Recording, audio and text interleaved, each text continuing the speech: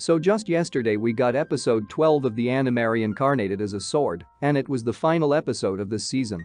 So the first season has now officially ended. Many of you are probably wondering if there will be a second season for this anime or not.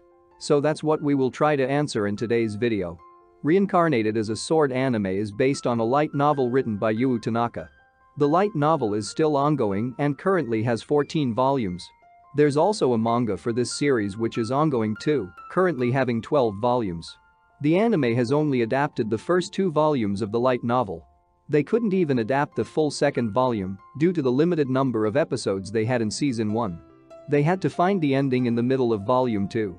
So there is plenty of source material available for not only season 2 of the anime, but also for season 3 and many more seasons. But it obviously depends on the producers whether they want to continue the series or not.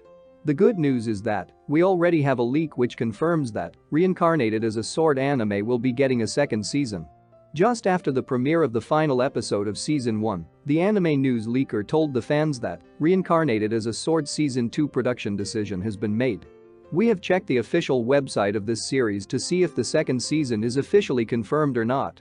But sadly, we couldn't find any official announcement there. But it doesn't mean that it cannot be announced at a later date.